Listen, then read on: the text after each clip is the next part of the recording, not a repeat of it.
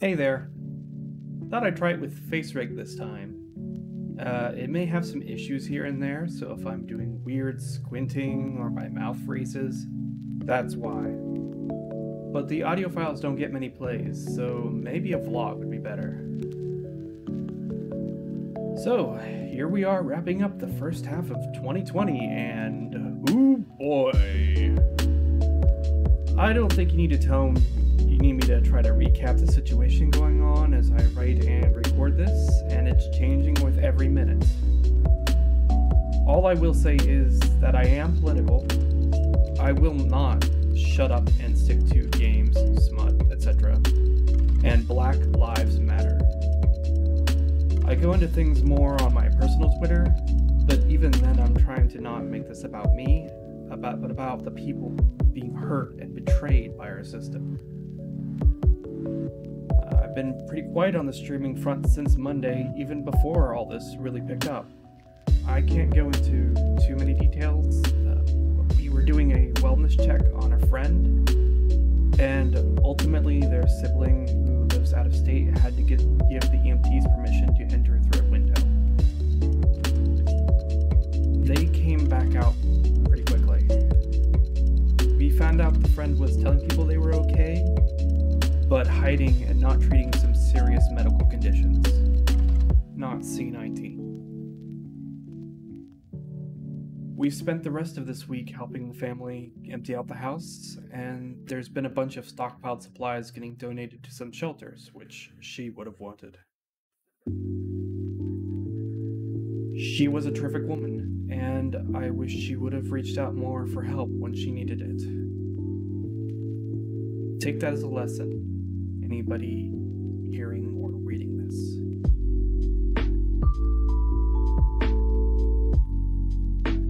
I'll steer away from personal stuff at this moment so we can talk about projects. Rulent Tower has seen some big changes this month. I've decided to get at least move in day as a solid launch target, sort of like early access, and then see how the reaction is. This lets me keep the scope manageable and moves toward a shorter release schedule. That's not to say the planned four days are off the table. I've already done planning and padding into the code variables, etc. for them. But since the scope of this project exploded, Move-In Day is closer to the game I first had in mind anyway. The game now has a critical path implemented. You can play the plot from start to finish, complete with two endings. All the NPCs also have standard dialogue implemented, although it is subject to change. I'm hoping to give each apartment a quirk.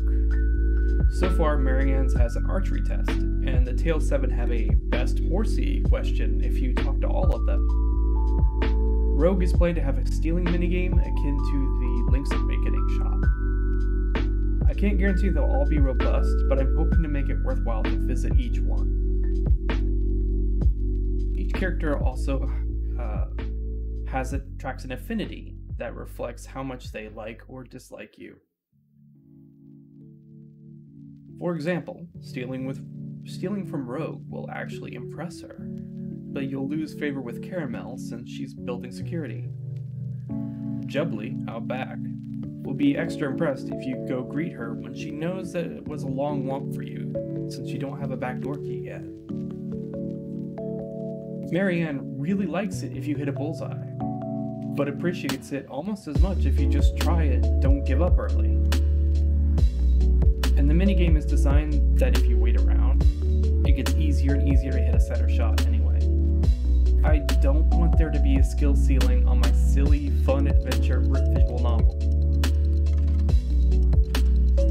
A lot of what remains, other than some scripting for first person sequences in the sauna and changing room, and any apartment works I decide on, are art assets and music. I can fudge the sprites, but I'm probably going to have to seek and pay for outside help to at least rough out the characters seen in detail. First person view.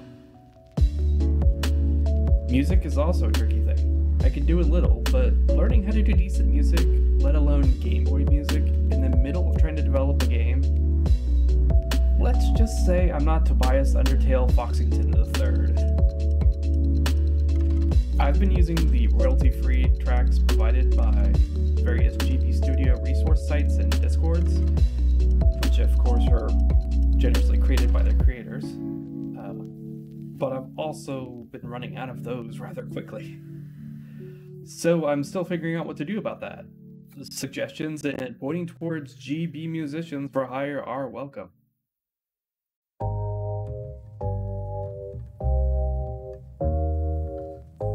I've tweaked the Patreon page to update it for the recent focus on Rulent Tower and explain things a bit better. I've also had to update all the tiers to comply with Patreon's new rules on sales tax. Because I don't offer physical goods, or even anything that has a monetary cost, I don't think it'll affect pledges, but best you know just in case they jump up a dime or two.